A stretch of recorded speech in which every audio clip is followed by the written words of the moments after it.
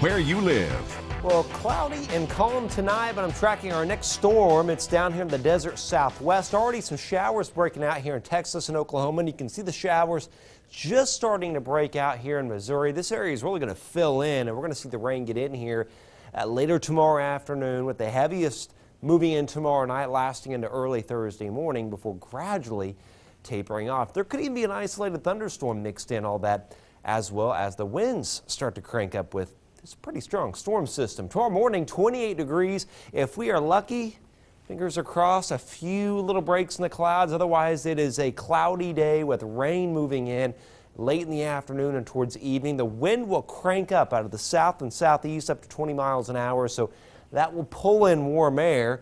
45 at 4, and there you see the rain starting to move on in. Now, the main uh, part of this outlook will hinge upon the shower chances, the rain chances, but also the warmer weather that's going to wipe away all this snowfall.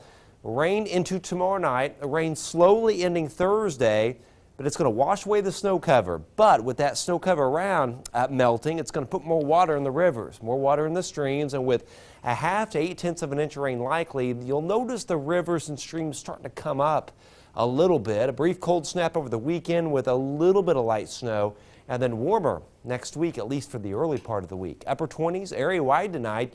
28 Kokomo, 28 Lafayette, 27 Monticello, and 29 Crawfordsville.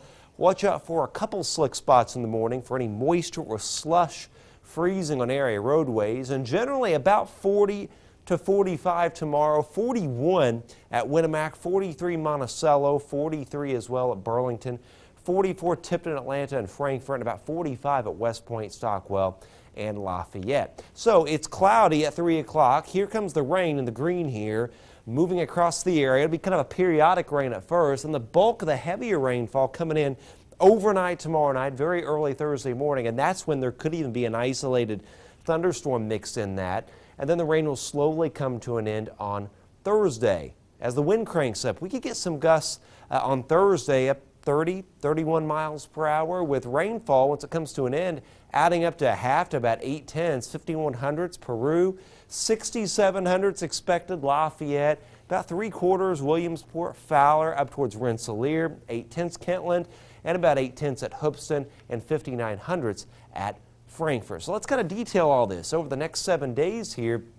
Again, there's the rain coming in tomorrow. Heaviest rain tomorrow night. 43, maybe rise a degree or two. 47, windy on Thursday. Rain pulling away. Friday's looking better and better. A little breezy, partly cloudy.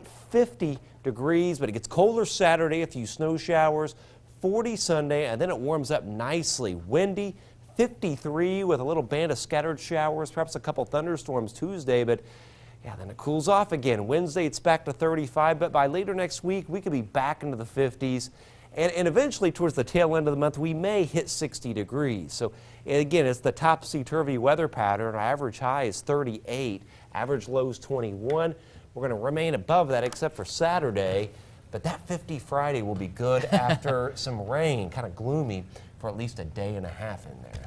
All right. Well, yep. it, you know what? When it's supposed to be 38 and it's 50, no one has any room to complain. There's a lot of runners out there that enjoy that stuff. Yep. So, all right, Chad. Well, Mike, there's a lot of stuff. Pacers looking to uh, rebound some, from some uh, losing ways, but the Kings in town